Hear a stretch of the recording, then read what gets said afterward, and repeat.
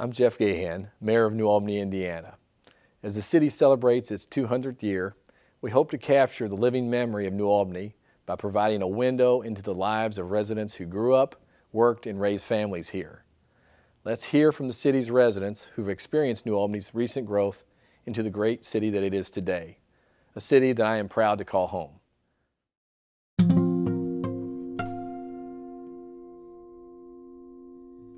The city of New Albany wakes up slowly as the sun rises over the Ohio River. Its downtown historic district stirs with early risers on their way to work. New Albany's rolling hills and scenic landscapes surround them on the drive. I do have a um, soft spot in my heart for New Albany. It's been a good place for 54 years for me and my wife to raise our children. There was never any alternative in my mind for me but to live here. I was rooted here, and I think it kind of goes back to my love of ancestry and my love of the study of my family's past. Because they had been so much a part of this place, I saw no reason for me to leave it, and, and I just bloomed where I was planted, if you will. It's been a great place to live. I mean, uh, I've acquired lifelong friends, and uh, I, I, have no regrets. I love what I do and continue to love it, and uh, I hope I can stay here till the end. Well, New Albany to me is, has always been home, of course. And I like it because I think uh, they've accepted me and my jab. It was a perfect town to grow up in. It wasn't too big, but it was big enough, it had everything. It's changed, but I think it's still great people. I think there's still enough people who are interested in keeping it a, a nice place to live. I think a river town has charm that other towns don't have. You know, I've lived here all my life and, and I have no desire to move anywhere else. Uh, I can go out of town. Uh, we went out this weekend down to Lake Cumberland and moving back in, and I was glad to get back into New Albany. The thing I'm most proud of in New Albany is the spirit of the people and uh, the friendliness and uh, upbeat nature of the people. You know, we're trying to keep the business going for the people out here. You know, I'm not interested in trying to sell it to anybody else. I kind of think of us as a family. And, you know, I, I do everything I can to help them, and they realize that and they appreciate that. Many lifelong residents who enjoyed playing, learning, and growing up in New Albany raised their own families here to pass on their childhood experiences of New Albany to the next generation. Had a great life together. We really have. We've been blessed in so many ways with uh, having a lovely family and uh, living here in this community and having the ability to travel and go different places and expose ourselves as well as our children to other places and, and then come back home.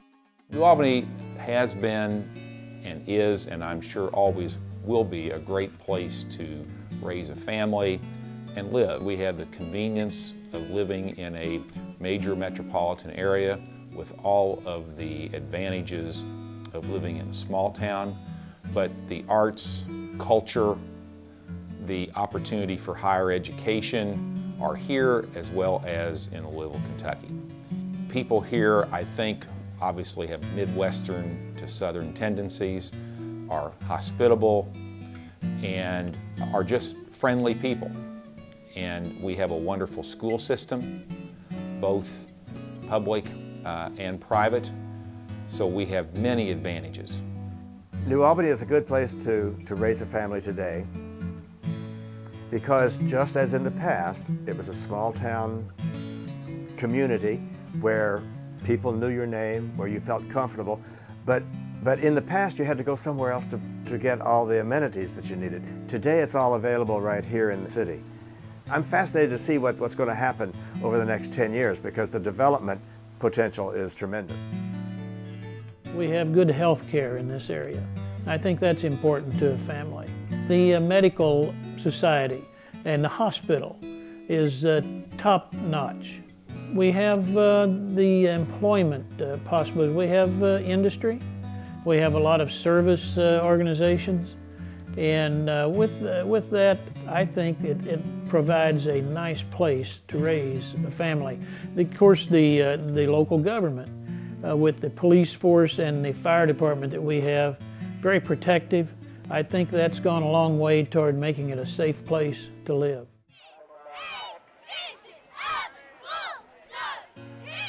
I think people will live here because they enjoy living here, and it's just a nice place to live. New Albany's longtime residents reflect fondly on childhood memories of the city. They share the imprint the city has left on them, reminisce on old times, and reflect on the sense of wonder surrounding New Albany. I've been in New Albany my entire life, basically, in the same one block area. A little unusual, I guess. It was just like one big happy family. You knew everybody. The thing I remember, Mother would, uh, you know, you did washing and ironing back then. People didn't have dryers or anything else. And when I was growing up, she always had a basket full of ironing to do, and she would tell me stories of growing up in New Albany. My memory uh, that, that links me tightly to New Albany is the fact that I was born and raised on Ekin Avenue between Vincennes Street and Thomas. And it was a bit of a hill up to Thomas.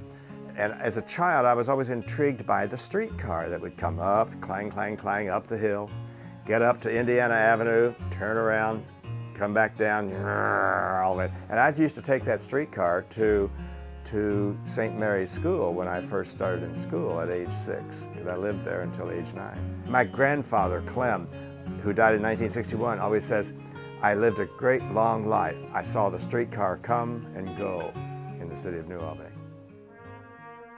New Albany has experienced challenges from the Great Flood of 1937 to fires and economic hard times. These challenges proved only to strengthen the resolve of this community to rebuild and grow.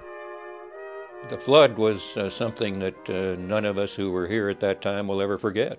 The year after the flood, I would have been four years old, and her father took her down there with me to show him where their house had been. And all that was there was a sea of dandelions, mud, grass, and dandelions. That's all all that was left. Day Lumber Company was, was the lifeblood of, of my little family. Dad was ready to retire, and 12 and a half hours before the papers were to be signed for the sale of the company, the building burned to the ground. New Albany's downtown was thriving when I was um, in elementary school and high school. And then, of course, things declined. And now here 50 years later, they're on a significant uptick with all of the new retail shops, restaurants, uh, microbrewery, winery, all here in downtown New Albany. It's beautiful to see the city crowded on weeknights and weekends. What it shows is a city like New Albany can have good times, uh, bad times, but can reinvent itself and can grow and flourish again. And uh, uh, my hope is that anyone who might view this 100 years from now will have the great pride in, in New Albany that I do. As a city on the border between the North and South, New Albany was ripe for social change during segregation. Many New Albany residents championed equality long before other parts of the country at our age, we can say we've lived through a lot. It doesn't seem like, when we think about our age, I don't think about us as having experienced so much history, but uh, a magnitude from the time I say as children in Jerry coming to this segregated school and me going to a segregated school and and then us being able to experience that transition from that to integration and making wonderful friends. I guess everyone began to see that it could work if everyone put their minds to it. So um, I think New Albany was just one of those places where once it had to be done, it was done, you know. The initial phase was certainly the integration of the schools. Uh, you know, uh, New Albany really had a unique history. Actually, when New Albany started its schools, it was integrated. And the state legislature said you can't do that. You have to have separate but equal. And, uh, you know, that's just kind of an interesting transition that occurred. So we were really kind of fortunate in this area. because we did not have some of the issues you had in the Deep South. It was extremely violent. And uh, you don't have to be violent to make a change. New Albany served as a gateway to freedom for slaves in the South with stations on the Underground Railroad like Town Clock Church. Today, New Albany residents commemorate the history of the city by preserving these locations. That church served as a refuge for slaves, but it is now we're being able to participate in the Friends of the Town Clock Church, try to help maintain it, and also to expand it beyond just being a church as a congregational church, but really make it a historical monument and uh, make it a place of study down there, just as Division Street Schools become a uh, not only a museum but also a, an educational facility, working live educational facility. All of these things. That's what Jerry was saying. We we feel, uh, I guess we feel so ingrained and so in love with New Albany because we have invested a part of ourselves in it. And uh, so we feel like, I think it's like anything. If you put some of yourself, your time and energy and your talents into it, you take ownership of it. So we feel like uh, we have some ownership in New Albany and it's, uh, it's a very important part of our lives. Today's New Albany is experiencing a renaissance of educational opportunities, the arts, entertainment, and business growth. New Albany residents enjoy four star schools, scenic parks, a thriving downtown district, and public art projects. The more the, the little town diversifies and offers new reasons for people to be, be coming to town, then it becomes a destination place. It's a wonderful little town right along the river uh, perfectly set for, uh, for growth and, and development. It's just unbelievable how much New Albany has grown. Uh, I've watched so many things change. You know, the IUS building start up, the uh, community park, the digging of the lake of community park, the change on the riverfront. You know, at one time you didn't take your family across the flood wall. You know, it just wasn't safe. But now it's grown into where we enjoy the riverfront, which is part of New Albany. The downtown area, when I was young, it was striving, you know, busy every Friday and Saturday night. And uh, when all the shopping centers and all came in, you seen a lot move out of the downtown area. And uh, the mayors that I've served under worked very hard to turn that around. And I went down just last week through the city of New Albany and it was unbelievable. You couldn't find a parking spot and uh, a lot of uh, different restaurants have moved in. The city has worked hard to uh, keep New Albany like it was. Probably the biggest thing for the city of New Albany was the building of IUS. You know, that started out with a dream out there and, and uh, they were going to do this and do that. And I thought, yeah, but it has worked. They've got housing and everything right in the city of New Albany. You don't have to go away to college. You can get full degree right there at your back door. And I think IUS has uh, uh, been wonderful for the city of New Albany. You just have to create the opportunity for people who want to invest in New Albany. And I think this goes through a long line of mayors and council people and people in city government and forward thinkers who have just done their best to make New Albany financially responsible, make New Albany clean, make it inviting. And I think over, you know, Republicans, Democrats, all that, it doesn't matter. Over a period of time, that's happened. And we're seeing the fruits of all that today. I think a good leader looks to the future rather than the present time uh, the next generation maybe even. And uh, so many people don't want to look past today, but it takes some uh, ingenuity and uh, forward thinking to provide good leadership. I think the that the future of New Albany over the next 50 to 100 years is very bright. And the reason I say that is we have people who, with an entrepreneurial spirit, who are reviving our downtown. I'm convinced New Albany will continue to be successful. It may evolve, but New Albany has such a rich history within the state of Indiana. and it was important in the early development of Indiana. And if we build on that, then the future is bright for our city. In 1991, we started out in a 5,000 square foot bay in an industrial building that we were renting.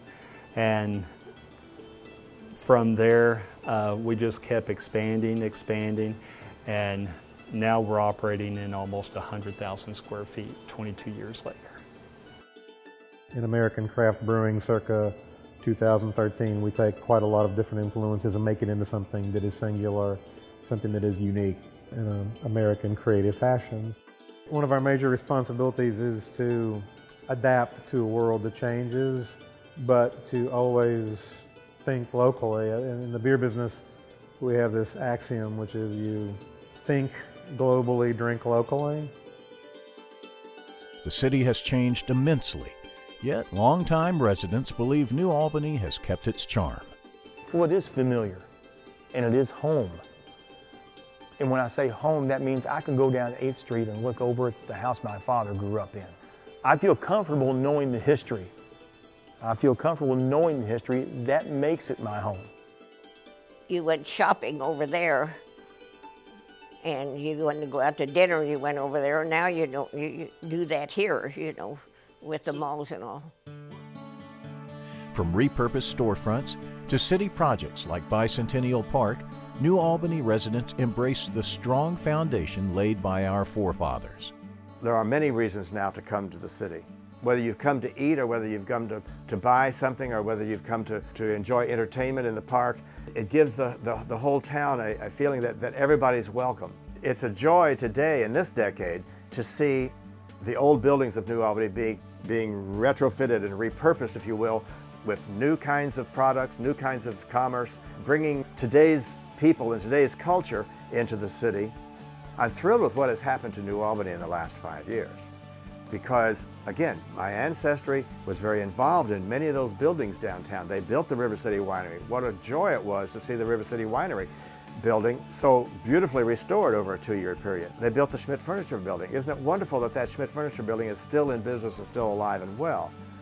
Uh, there has been a lot of work done to uh, savor the old buildings in town, those that are worth saving, those that have some history. Uh, and you look at some of the uh, mansions on Main Street that have been refurbished and one or two even taken by the state to develop. That uh, gives uh, a lot of history to people that would never know about the, the community if, if, that wasn't done. And now we have uh, people with an entrepreneurial spirit who are seeing and using downtown as the focus of their business because they see the potential of a thriving downtown.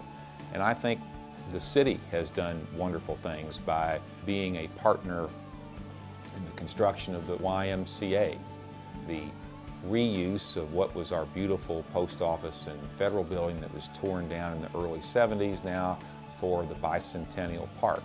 As we celebrate our bicentennial, it's been a very successful celebration, I believe, with especially with our new park and other things going on. I think it behooves future leaders to carry on the spirit and the stewardship that uh, the past leaders have had over the years. Residents of New Albany have invested their time, money, and energy to build New Albany, a place unlike any other, with all the amenities of a big city and the benefits of a small town. I've never hesitated to say I'm from New Albany, Indiana. When I travel nowadays and they ask me where I'm from, I say New Albany, Indiana. But years ago I would say, uh, well, I'm in a little town across the Ohio River from Louisville, Kentucky, and may not say New Albany, Indiana. But nowadays I do. We're getting people to take a look at New Albany. We have made New Albany a destination for a lot of people. People are coming over here for activities. I feel that the opportunities now in New Albany are more exciting than they were when I started. And there is something to be said for wisdom and experience and age. It's 200 years old. Dropping the bucket compared to ancient Rome, but uh, you know, it's not a bad lick when it comes to the United States. And what it means to me is there's always something to be learned from all that experience. Lifelong residents remember the people, the community who raised them, the places they love, the experiences they had in New Albany. The city leaves a mark on those who live here, and those who live here become a part of the history of New Albany. The future of New Albany, I think, will continue to build on the strength of its past. And the strength of its past was it was a small town community. We're in a different world today, there's no doubt about it. I mean, the computer world has, has changed everything, right? So, so we, are, we, we live by that technology. But you know, we're still going to be rooted in, in little places like New Albany. We're going to be rooted in family that makes the community what it is. We're going to be rooted in our faith and our belief, in our churches, in our schools, in the small town community that, that, that New Albany will consistently be. It's always going to be necessary for it to evolve and go with the flow, but we as humans are just still rooted in, in family and, and, and in our humanness. As the sun sets over New Albany, shoppers purchase their final items. Commuters make their serene drive home, and residents return to their families. Under the stars, New Albany slows, prepares for another day, and quietly tucks itself to sleep.